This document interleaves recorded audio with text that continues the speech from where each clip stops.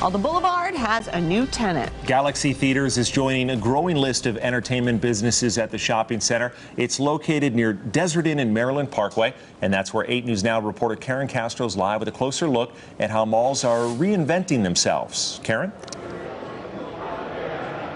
Yeah, that's right, Brian and Christy. And like many retail centers around the valley, really, the Boulevard is no longer just about shopping. In fact, as we show you around here, we're inside the new Galaxy Theatres, and it's just the latest entertainment attraction moving in. The Boulevard looks a lot different than it did just a few years ago. It was nice. It was really nice back then. I mean, all of your major department stores were still here at that time. There are no major retailers left. Sears was the last one to shut its doors. All that's left are smaller shops. A lot of businesses have left, like closed up shop and and just left. At a time when e-commerce is changing the shopping experience from in-person to online, shopping centers like the Boulevard are finding ways to keep customers coming. It dropped the word mall from its name a few years back. Well, it's not a mall anymore. It's a mixed-use property, and it's focused on entertainment, services. Of course, retail will always be a component. More and more, the Boulevard is becoming an entertainment complex with fun for the entire family. Among the growing list of attractions are the Game Center, Heads Up, and of course the SeaQuest Interactive Aquarium. Other entertainment includes train rides and a magic show, and that's not all. They've even welcomed call centers. And call centers have absolutely thrived here with employee recruitment.